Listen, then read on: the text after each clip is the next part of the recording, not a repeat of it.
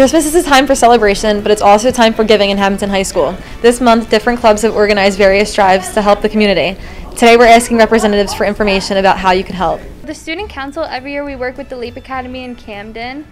Um, and every member of Student Council gets assigned a kid and their Christmas list, and they buy the things on their list, and then we bring them to the kids because they wouldn't get gifts otherwise. We're connected with the Rotary Club and do stuff with the community, like charitable stuff, toiletries and stuff like that, like uh, toothbrushes, um, toothpaste, stuff like that. Uh, socks is another thing that they're collecting. The class of 2022 is collecting donations for families and students in our school community.